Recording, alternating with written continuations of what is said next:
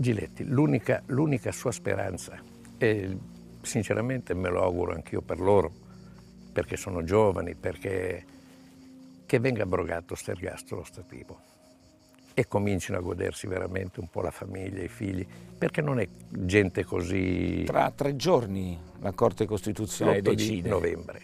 C'è anche un governo nuovo, lei lo diceva prima. Sì.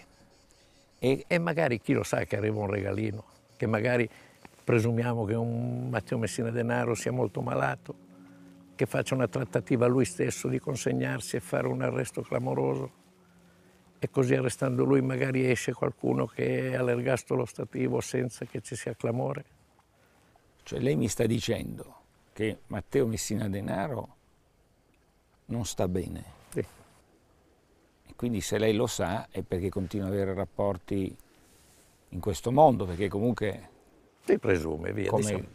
con, con Graviano lei ha intrecci con i parenti, no? immagino, non ha rotto i rapporti col sistema intorno ai Graviano che lei sta dicendo una cosa forte. Mi sta dicendo che siccome non sta bene, questo potrebbe essere un colpo molto forte per il nuovo governo. Appena arriva, si insedia. È un fiore all'occhiello. E il governo c'è Berlusconi, no? Anche. E può essere un, come si dice, un bel regalino. Però questo vuol dire, non mi dica che penso male, cioè qualcuno potrebbe dare delle indicazioni come forse vennero date per la cattura di Totorina tutto e far, e far, sembrare tutto casuale e in realtà è tutto una finalità. È tutto per, magari programmato già da, da, tempo. Per poi far uscire qualcuno dal carcere? Senza che sia un clamore. Tutto è possibile, Giletti. E questo però contraddice quello che diceva lei, che dice io Graviano non parla, non dice. In effetti cosa dice Graviano? Cosa parla Graviano? Eh, ma se si sa che Matteo Messina Denaro non sta bene, che forse potrebbe arrivare a un accordo... Si, sa, si presume. Eh, se lei dice si, si presume, io credo che si sappia. Quindi lei mi sta facendo, raccontando uno scenario che potrebbe realizzarsi Giletti, da qui a poco? Il generale Delfino, tornando indietro negli anni, generale dei carabinieri, che anche lui aveva la, la, casa vicino al lago d'Orte. Sì. Eh, cosa c'entra Delfino che non c'è più in questa vicenda? Ecco, non bisogna parlare di che non c'è più, ma siccome certo. è storia che si legge, cosa aveva detto all'allora ministro di Grazia e Giustizia Martelli?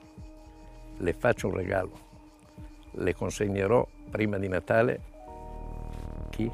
Totorina. Totorina. E cosa è successo? che 15 giorni dopo, 20 giorni dopo Natale... Perciò secondo lei ci sarà stata una trattativa o no per es... l'arresto di Totorina? E qui la trattativa con... tra chi sarebbe però? E questo non me lo chiede Giletti. Però lei mi fa capire che la famosa trattativa non è mai finita allora. E né mai finirà, prima detto.